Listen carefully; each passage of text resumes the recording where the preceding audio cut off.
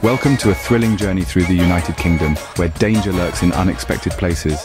Here are the top five deadliest animals of this enchanting land.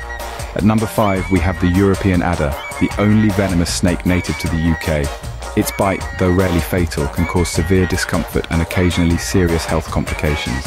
Number four, the common European viper. It's shy and usually avoids humans, but its venomous bite is not to be trifled with. Then we have the honeybee at number three. Surprised? Well, bee stings can trigger allergic reactions in some people, leading to anaphylaxis, which can be deadly. Number two, the tick. These tiny creatures are carriers of Lyme disease, a potentially serious condition if left untreated. And at number one, the unassuming yet deadly mosquito. This tiny insect is the deadliest creature on Earth, responsible for thousands of deaths worldwide due to the diseases it carries. Remember, respect all creatures and tread lightly on their habitats.